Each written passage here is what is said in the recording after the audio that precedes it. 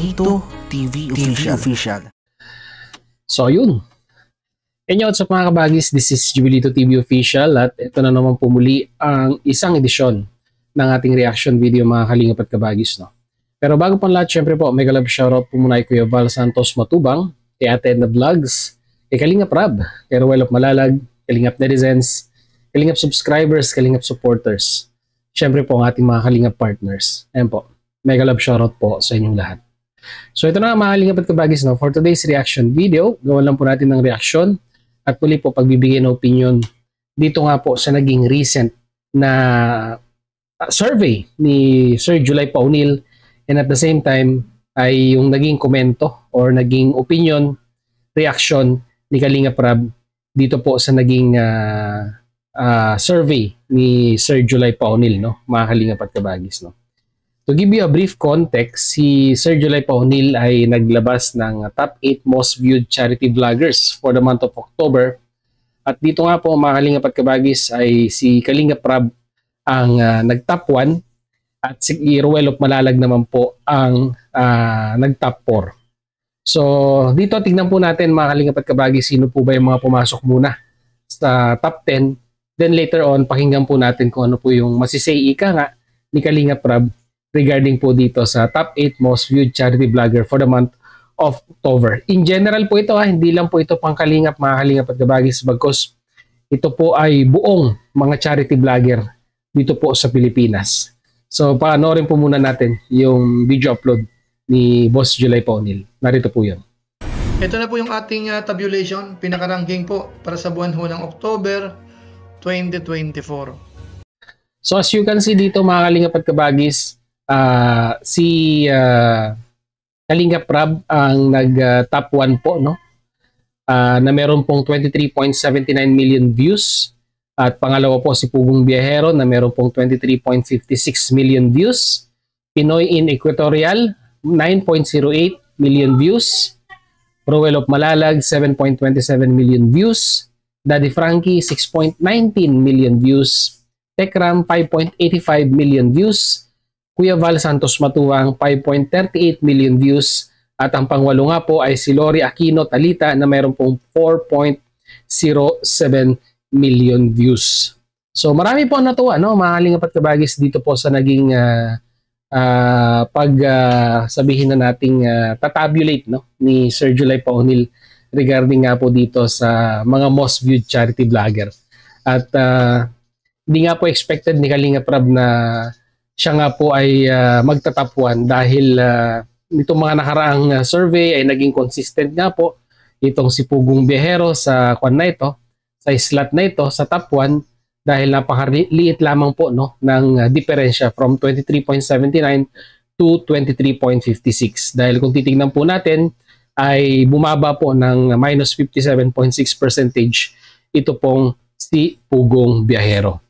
At makikita naman po natin na ito pong si Ruel of Malalag ay umaarangkada, no? Mahalingap at kabagis dahil nga po 49.3% ang inangat ng kanyang uh, views for the month of uh, October, no? Mga kalingap at kabagis, no? So, ito na nga. Kagaya nga po ng sinabi ko, pakinggan naman po natin yung pong naging uh, opinion ni Kalinga Prab regarding po sa survey na ito. So, narito po yun para sa akin ano siya, eh, ranking siya ng for me hindi uh, best. Masasabi ko ano eh, parang kung sino yung pinaka masipag talaga. Yan, yun ang pwede kong masabi diyan. Pinaka masipag no? Pinaka masipag na charity vlogger, 'di ba? Kasi uh, kagaya ni ano ni Insan Roel, no? Ako talaga, nasasabi ko na deserve ni Roel yung ranking ngayon, yung top 1. Kasi grabe ang sipag po ni Insan Roel. No? Grabe yung uh, dedication niya, yung uh, passion niya sa kanyang charity, sa kanyang YouTube, sa kanyang uh, channel. Kaya um, deserve niya yung number 1 kasi yun nga para sa akin uh, dito kasi sa ano sa ranking ni Ninong Chulay ranking siya ng uh, for me ranking siya ng kung sino yung pinakamasipag talaga. At nakita ko talaga kay Insan Roel yung pagiging masipag niya sa pag-vlog, 'di ba? Yung pagmamahal niya sa kanilang ah, sa kanyang beneficiaries, sa mga babahay niya. And yung mga uploads siya, makikita niya naman, 'di ba, kung gaano siya kasipag. Minsan naka-upload siya ng ah, dalawa, no? Mahirap po 'yun. Dalawang upload ah, every day, mahirap po 'yun. Kaya kaya ano po, um, kaya nakuha niya yung rank 1 na 'yun.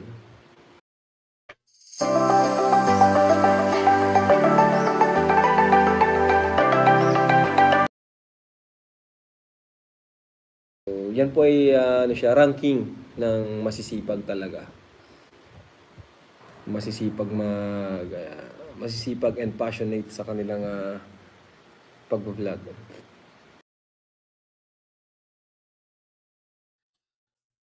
So yun na nga, no, mga kalingap at kabagis, no, kagaya nga po ng sinabi ko, ah, ito po yung ah, in general, no.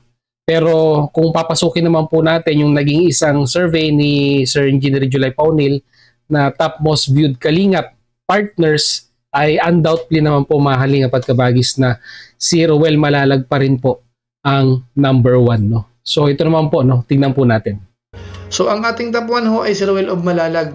Meron po siyang 7.27 million views para sa buwan ng October. Ang laki po ng itinaas.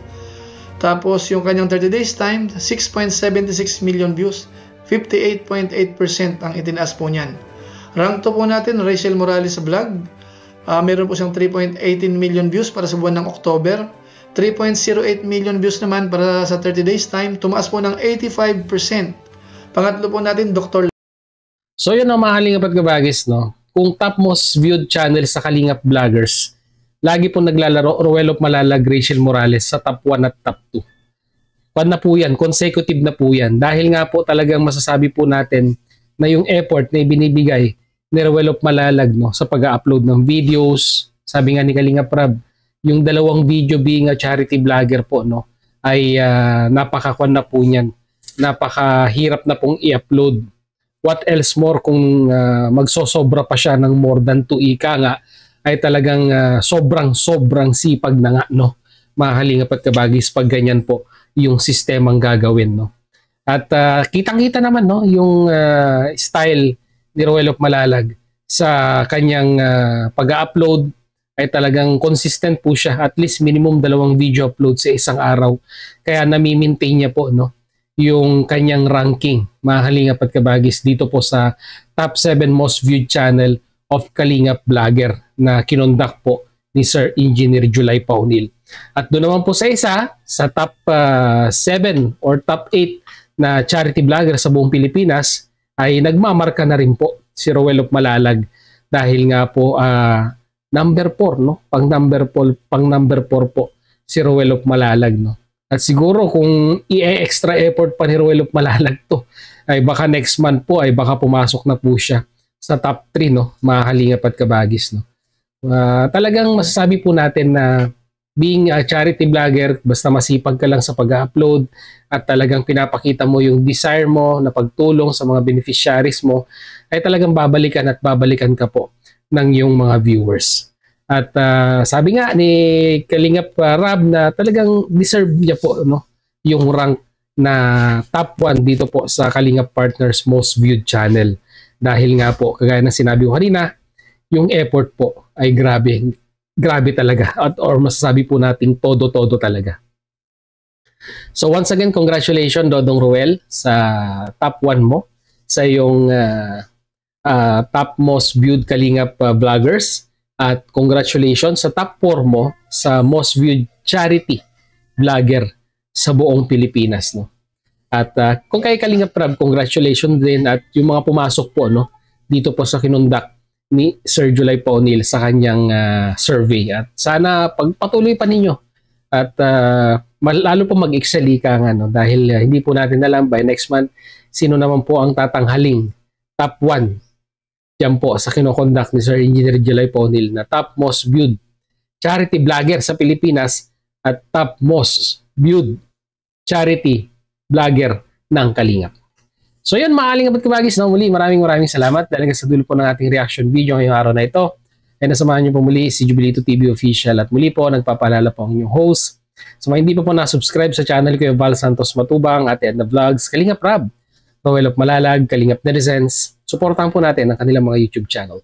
And at the same time, muli po naglalambing din po ang inyong host. Sa mga hindi pa po nakasubscribe sa channel ni Jubilito TV Official, ay pakita naman po ang subscribe button at ang notification bell para maging updated po po kayo sa mga darating nating reaction videos. Ganun din po, pakifollow and like ang ating official FB page na may mahigit 180 subscribers na po ng mga halingap at kabagis. No?